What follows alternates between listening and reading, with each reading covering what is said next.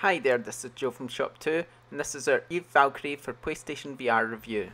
Eve Valkyrie is the first full retail game for PlayStation VR that probably brings the type of experience you'd expect VR to was created for. To become a pilot in the middle of space, dogfights and all. If you've ever imagined what it would be like to fly a spaceship while trying to defend the galaxy, then Eve Valkyrie is probably a good representation, although it's probably wise not to spend too long in the cockpit, especially if you're not used to VR. In Eve Valkyrie, you use your head to navigate the game menus as well as enemies during dogfights.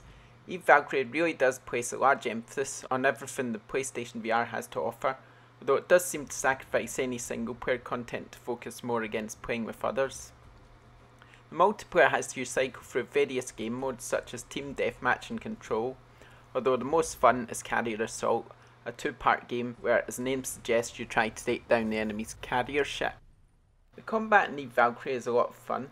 As mentioned, you can use head tracking to take down enemies with the majority of weapons, meaning that as you look around, the gun also follows. You also have access to various missiles, although things do tend to change when you gain access to bigger and better ships.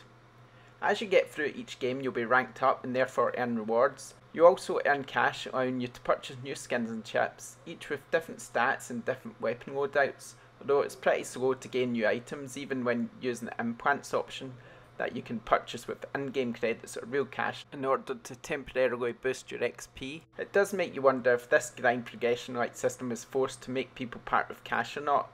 It most likely is. Obviously having a more powerful ship does give you a better advantage, so it's frustrating that you can't seem to get hold of these upgrades sooner without having to splash out.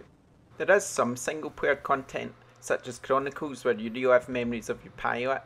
There's also a co-op against AI, and some scouting and survival missions. In the scouting mission, just search for salvage and echoes without having to fight against the enemy, whereas in survival challenge, you have to fight against wave after wave of them. To be honest, you'll complete these missions quite quickly, and then you'll be back to the grinding of multiplayer in no time at all. On the presentation side, Eve Valkyrie looks absolutely stunning. When you first step into your ship, you're met with look and feel of a real cockpit, and as soon as you get into space, it's also real. Surprisingly, despite the fact you'll be flying left, right, and upside down, there was a real lack of motion sickness for me here, which was absolutely fantastic as far as I'm concerned. Everything about the graphics, from the dogfights, lasers, and explosions, looks very impressive. And even when you're destroyed, the look of your cockpit being covered in ice sends a chill of appreciation down your spine. Eve Valkyrie is a mixed bag in that the single player is a lot lacking and it's a bit of a grind to upgrade your ship. However, when it comes to the actual multiplayer space combat, the game is an absolute joy. If you've ever imagined what it would be like to be a space pilot, then look no further, because space combat just got real thanks to Eve Valkyrie. This has been Joe from ShopTo. Thanks for joining us for this review. Please remember to like and subscribe, and we'll see you next time. Thanks for now. Bye.